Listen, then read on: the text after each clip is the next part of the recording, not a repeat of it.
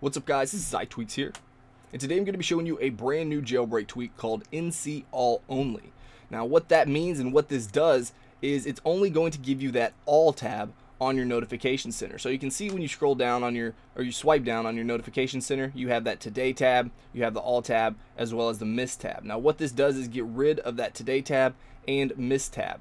So let's go ahead and go over here and we'll install it.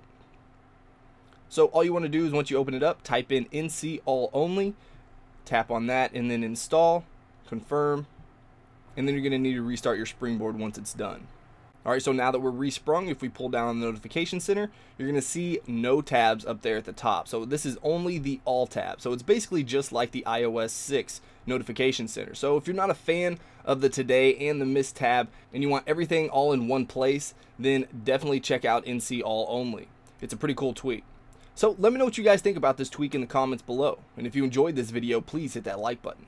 If you want to see more of my videos, then go ahead and subscribe.